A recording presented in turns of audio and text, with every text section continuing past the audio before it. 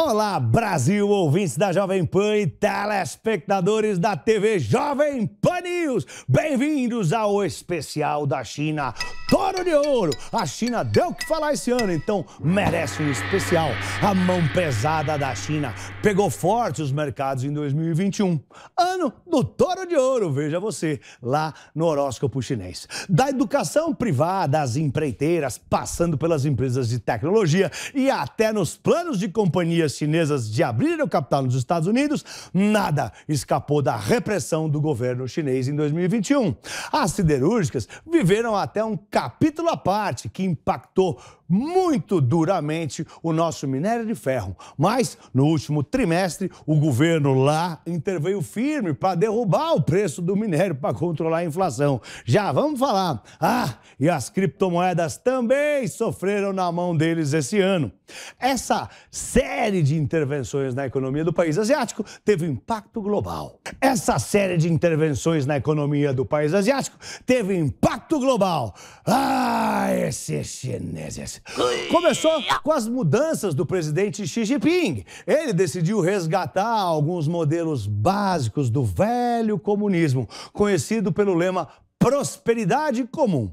Primeiro de todos, na educação, a China anunciou um conjunto de reformas para o setor privado lá, que, segundo o governo, foi sequestrado pelo capital. As novas normas lá na China banem empresas que têm em seu currículo matérias de educação financeira, veja você, considerada, consideradas nocivas, como, por exemplo, a busca pelo lucro. Isso já teve efeitos lá na China e afugentou companhias que gostam de lucro, como BlackRock e SoftBank. Ah, esses chineses. Dois, a política de prosperidade comum, prosperidade comum, também arrasou o setor imobiliário, que representa um quarto do PIB da China, 25%. Visando reduzir as dívidas das famílias com os imóveis lá na China e estancar a alta dos preços do setor, o governo cortou empréstimos e complicou as imobiliárias, sendo a principal delas a Evergrande, a segunda maior né, das 30 que existem por lá. Ela foi proibida de vender imóveis na planta e agora, sem a possibilidade de contrair novas dívidas, a empresa tem dificuldade em saldar as dívidas já existentes. E já deu calote! Deu calote em, no dinheiro, na, na moeda deles, deu calote em dólar, né, no yuan lá chinês. Bom, ah, esses chineses.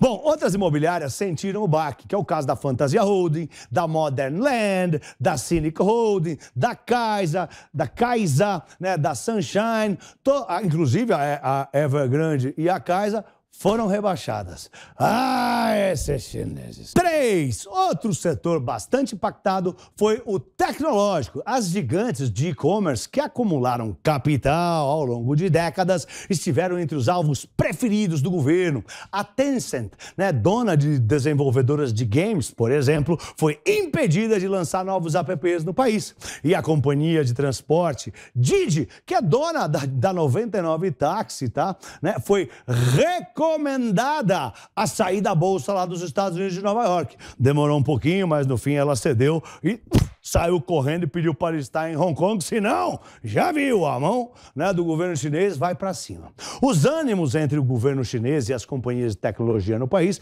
começaram a se acirrar em novembro de 2020. Né, lá quando Jack May, né, a gente lembra, o ano passado, o CEO da Alibaba Group desapareceu, você lembra? Ele disse que a regulação excessiva seria prejudicial à inovação, sumiram com o cara três meses, depois ele apareceu, estava vivo, o pessoal achou que ele tinha até morrido.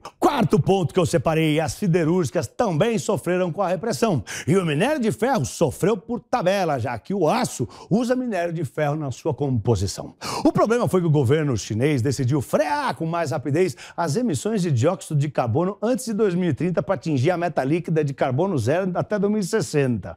Ah, bom, isso, dizem eles, gerou a redução de geração de energia em plantas produtoras de aço, né? As de carvão também sentiram. Mas, na minha opinião, pode ser que talvez não tenha sido só para ajudar o meio ambiente e o resto do planeta Terra. Pode ser que a inflação estava muito forte por lá e o governo interviu no aço para ajudar a baratear o preço do minério, que por sua vez ajudou a frear a inflação, a inflação lá na China, que desacelerou, tá? E claro que isso também afetaria e afetou a produção das empresas empresas. E o preço do minério de ferro foi de 200 para 100 dólares.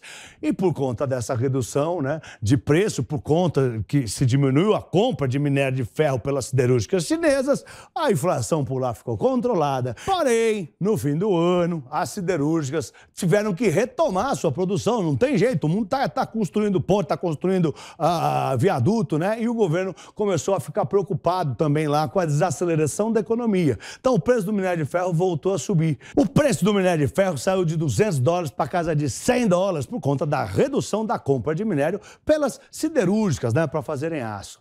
Mas no fim do ano, Porém, as siderúrgicas começaram a retomar a produção. O mundo está retomando a produção, está construindo viaduto, ponte, precisa de minério, tá? E lá também, na China, o governo começou a ficar um pouco preocupado com a desaceleração econômica muito forte. Eles tinham proibido né, as siderúrgicas de fazer aço. Ah, é, e, e, o governo lá chinês também, ele indicou que deve dar uma guinada o ano que vem para ajudar o crescimento da economia, deve fazer estímulos. Quinto ponto, a listagem de empresas chinesas em bolsas estrangeiras, principalmente, especialmente as americanas, de Nova York. Também incomoda as autoridades orientais, que trabalham ainda num esboço de lei que deve alterar as regras dos IPOs, tá? Uh, ah, para abrir empresas lá nos Estados Unidos. Eles estão muito incomodados com isso e esse é um ponto central para a gente ficar de olho no ano que vem. Sexto ponto desse especial chinês, Toro de Ouro, em setembro desse ano. O Banco Popular da China, que nada mais é do que o Banco Central deles, Banco Central local, proibiu bancos e instituições financeiras de oferecerem quaisquer serviços relacionados a criptomoedas criptomoedas. É proibido minerar Bitcoin por lá. É proibido comprar, é proibido vender, é proibido tudo. É proibido ter, tá? A medida se estende até mesmo às corretoras que operam fora do território chinês, bem como aos seus colaboradores, sejam nativos ou não. Ou seja, os chineses participantes nessas atividades estão sujeitos a processos judiciais, caso descobertos. E a gente sabe como são os processos por lá. Bom, sétimo ponto, eu não podia deixar de encerrar esse especial sem lembrar que o presidente da China China, o senhor Xi Jinping, né, uh, mudou seu status, para, seu status para imperador. Ele conseguiu ser alçado à altura do, de herói vitalício. Né? Ele estava a ponto de se aposentar, 68 anos, tinha que se aposentar do Partido Comunista Chinês e mudou. E tal determinação pode ser considerado como uma total consolidação de poder, abrindo caminho para que o senhor Xi Jinping estenda seu mandato até o fim da vida. Ele vai ser o imperador da China até morrer. Gente, é isso aí, né? Fazendo uma história longa, curta, esses foram os principais assuntos vindo da China esse ano. Ah, esses chineses. E se você quer me seguir nas minhas redes sociais, o meu arroba é arroba Pablo Spire, arroba Pablo S-P-Y-E-R. Espero que vocês tenham gostado. Até a volta das férias. Eu sou Pablo. Vai, Torinho! Vai, Torinho!